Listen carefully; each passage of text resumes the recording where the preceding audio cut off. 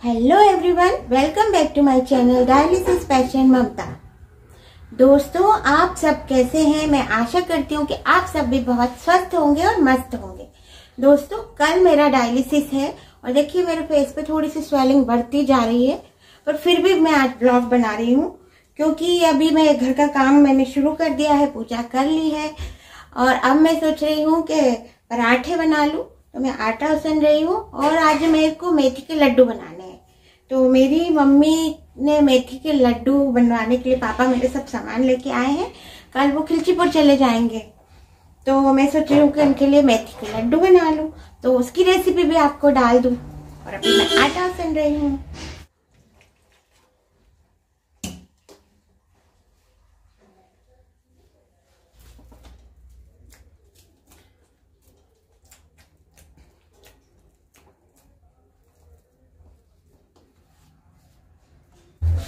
आप बोलेंगे, इतना सारा आटा क्यों उसन लिया? तो मैंने ये आटा शाम तक का उसन लिया क्योंकि अभी ठंड पड़ने लगी है। तो ठंड की वजह से शाम तक काम आ जाता है आटा। गर्मी में मैं दोनों टाइम का नहीं सकती हूँ।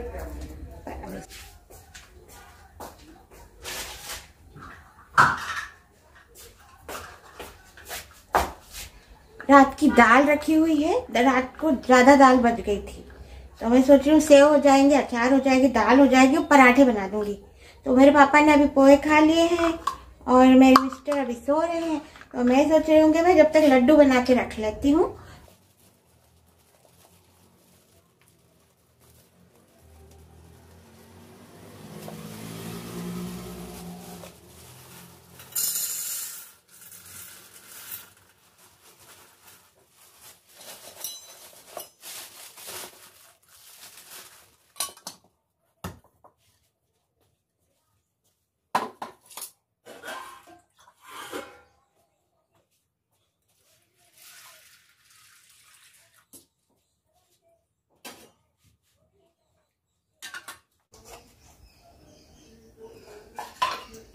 ये राजमा मैंने शाम के लिए गला के रख दिया है। तो शाम को मैं राजमा की सब्ज़ी और चावल बनाऊँगी और रोटी बना लूँगी। और अभी तो मैं सिर्फ़ पराठे ही बनाऊँगी। और अभी जब कोचिंग से आएगा तब सोच रही अभी बना दूँगी गरम। अभी भी खा लेगा, बाबू खा लेगा और मैं इसके पापा सब लोग खा लेंगे। तो मैं अभी लड्डू बनाती हूँ। तो मैं आपको मेथी के लड्डू की रेसिपी भी बताती हूँ। ये एक बोल में मैंने दो कप मेथी दाने ले लिए हैं।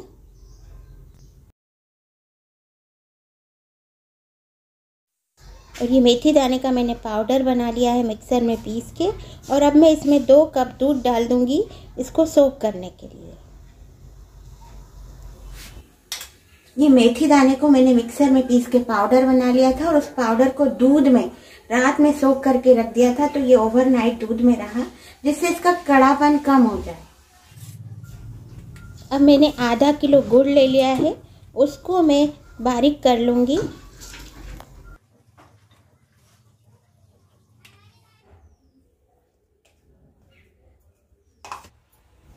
अब एक कढ़ाई ली है मैंने, उसमें मैं 100 ग्राम नारियल का बूरा लूँगी और उसको हल्का रोस्ट कर दी अब उसी कढ़ाई में मैं थोड़ा देसी घी ले लूँगी, जिसमें मैं ड्राई फ्रूट्स फ्राई करूँगी। अब मेरे पास थोड़े मखाने रखे थे तो मैंने वो मखाने फ्राई कर लिए हैं। थोड़े से मेरे पास काजू रखे थे, उनको भी मैं इसी घी में फ्राई कर लूँगी। आप कोई से भी ड्राई फ्रूट्स यूज़ कर सकते हैं जो आपके पास अवेलेबल हो और जो आप यूज़ करना चाहते हो। मेरे पास जो रखे थे, मैंने उसी का उपयोग कर लिया।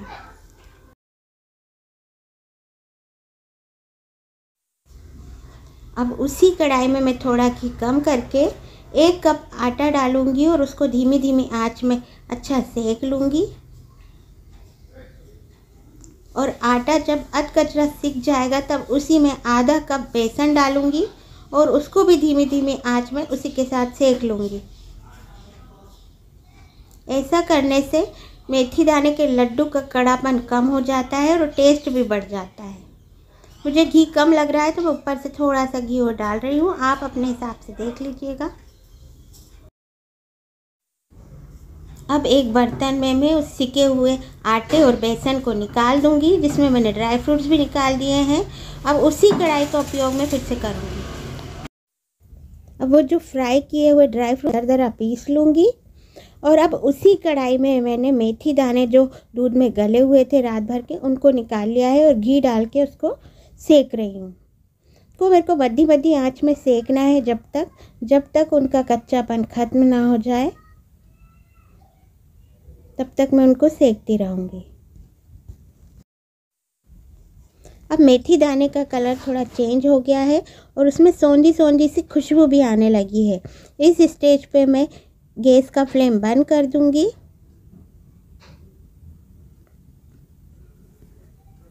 और ये ड्राई फ्रूट्स जो मैंने फ्राई करे थे, इनको भी दरदरा पीस लिया है इस तरीके से।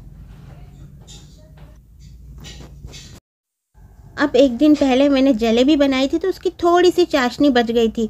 उसी चाशनी में मैं ये थोड़ा सा गुड़ डाल रही हूँ।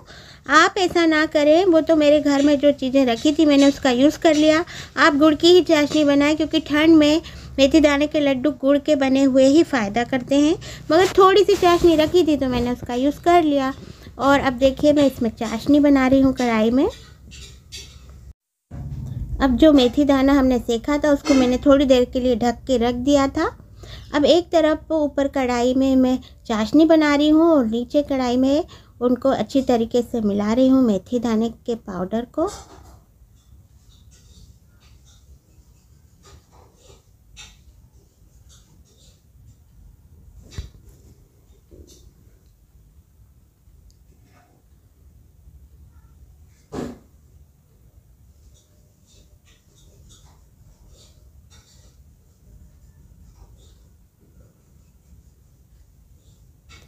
अब मेरे पास किशमिश रखी थी वो भी डाल रही हूँ, उसको मैंने फ्राई नहीं करा था और ये ड्राई फ्रूट्स जो मैंने मिक्सर में पीस लिए थे, उन्हें भी डाल दूँगी।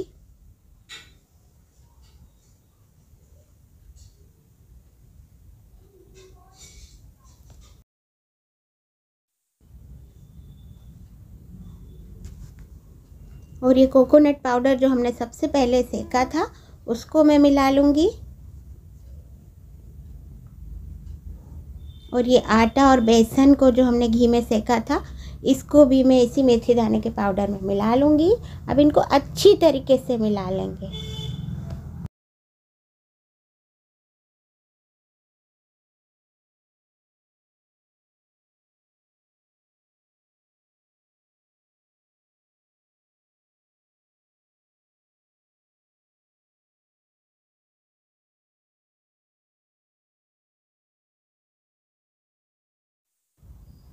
अब ये चाशनी देखिए बन रही है। गुड़ अच्छी तरीके से मेल्ट हो जाए, उतना ही काफ़ी है।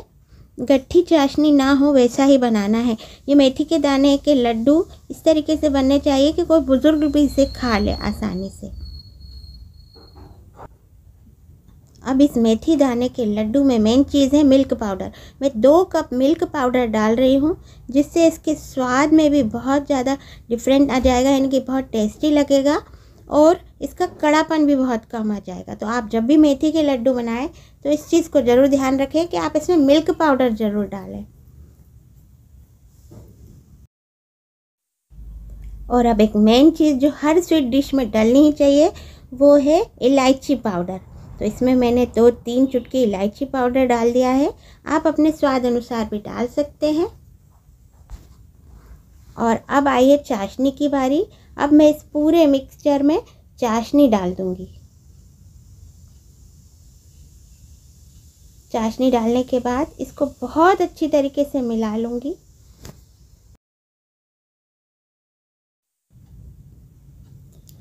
चाशनी को इतनी अच्छी तरीके से मिलाना है कि सारे मिश्रण में चाशनी अच्छी तरीके से मिल जाए। मुझे ऐसा लग रहा है कि मेरी चाशनी या तो गीली हो गई है या ज़्यादा हो गई है तो इस सिचुएशन में मैंने इसमें एक कप मिल्क पाउडर एक्स्ट्रा डाल दिया है।